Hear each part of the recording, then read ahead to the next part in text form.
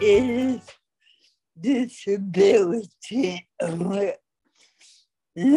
month, it gives a chance to learn about people with disability, developmental disability awareness is about educating people with about the abilities of people like me.